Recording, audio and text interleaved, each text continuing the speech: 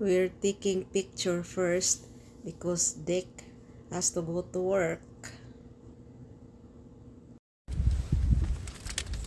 Luna can't wait. She wants to go for a walk and sniff around.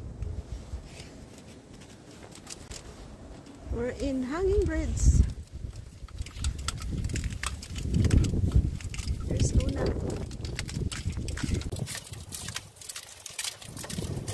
You can hear the crunch, crunch. That's the ice cracking in the hanging bridge. It's a pretty nice day today and we went out for a walk. But it's a little windy though.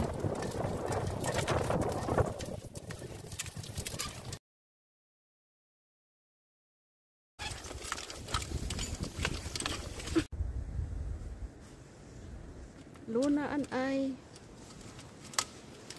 in the hanging bridge. Come this way, Luna.